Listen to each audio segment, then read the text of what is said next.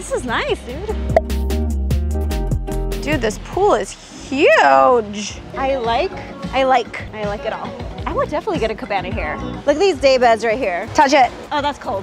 But yeah, this pool is really beautiful. It feels very retro, very 1950s. Yeah, definitely photo shoot vibes here, guys. Oh, and here's the hot tub over here. Oh, that is a nice hot tub. It's like very European.